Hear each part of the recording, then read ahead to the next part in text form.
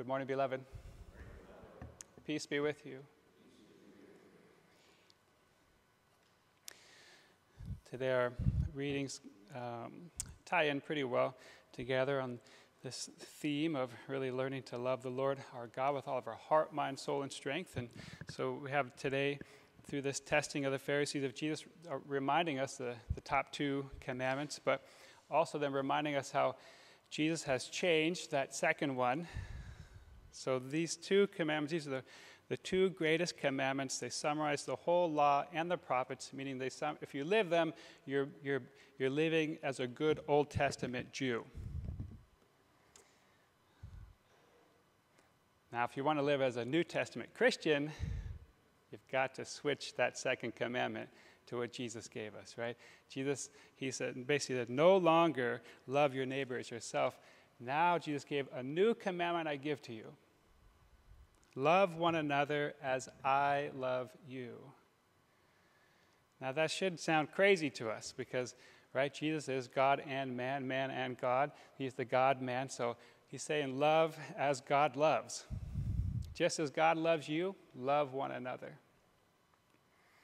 So no longer are you, are, is it acceptable for the Christian to have merely a human love. Now we must have God's own love for each other. And so that's, that's our, our rule of life and our measure for everything we do.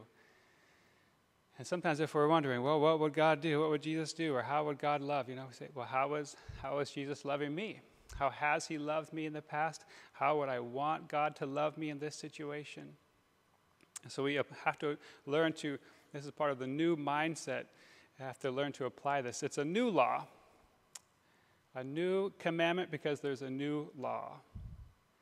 So, loving our, the Lord our God with our heart, mind, soul, and strength, and loving our neighbor as ourselves summarizes the Old Testament law and the prophets.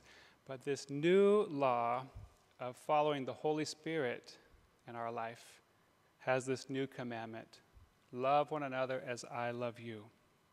So we have to apply that in our life in many different ways. You know, simply somebody people are asking me for things, well, how should I respond? Well, how do I want God to respond to me when I ask him for things? That that's how I need to respond to other people when they're asking me for things.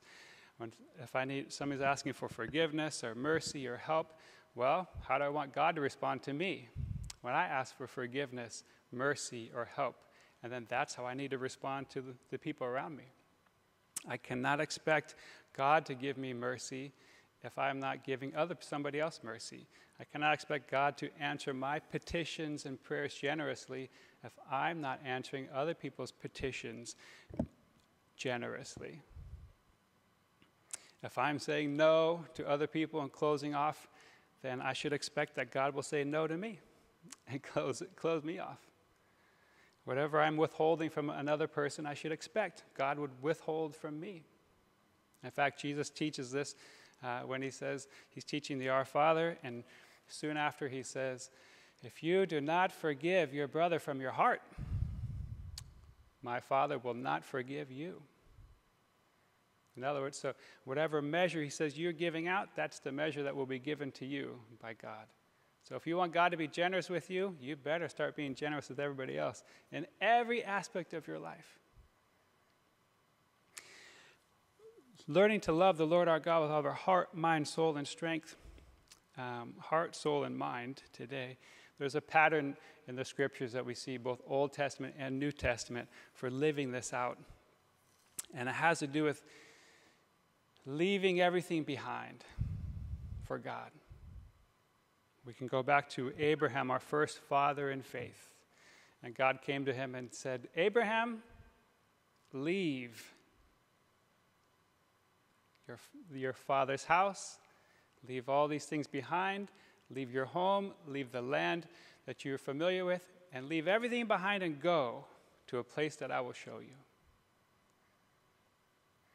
And we don't have much story in Isaac, but we know Jacob also had to leave everything behind and go live with his sister, sister's uh, brother, Laban.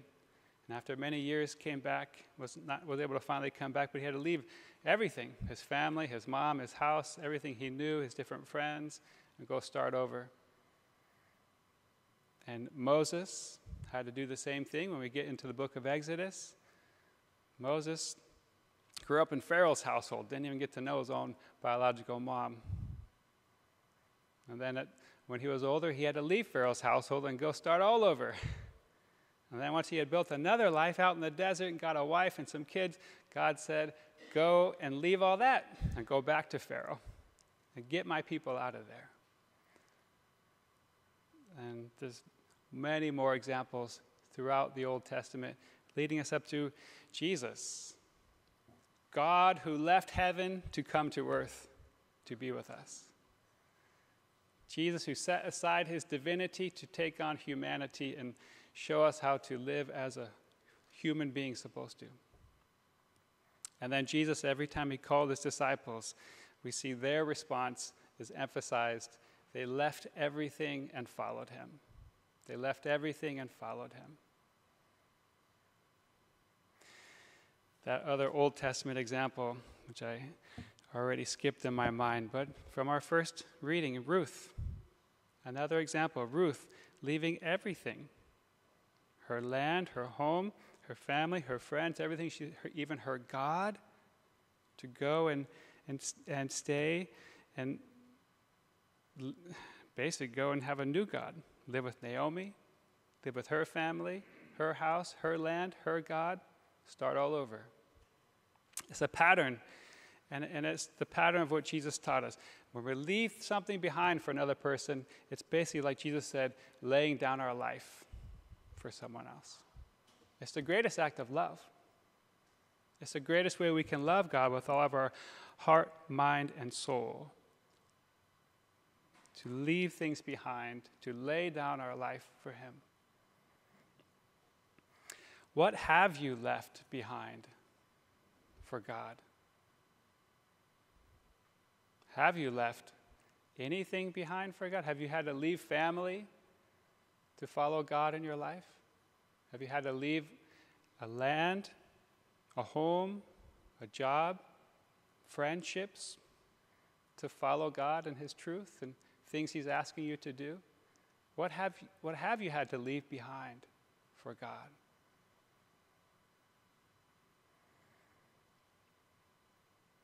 What have you had to lay down? What desires have you had? What dreams have you had that you've had to lay down? Sometimes we have to let, leave behind old mindsets to follow a new way of thinking, old habits to begin a new lifestyle with Jesus. Have to leave behind old comforts. Jesus is always asking us to get out of our comfort zone and follow Him. What's He asking you to leave behind today? To lay down today so you can love Him with more of your heart, more of your soul, and more of your mind. Jesus, we just ask you to make it very clear to us this next step that you want us to take to love you more. We pray in your name, Jesus. Amen. Let us stand together and offer some more prayers to our Father.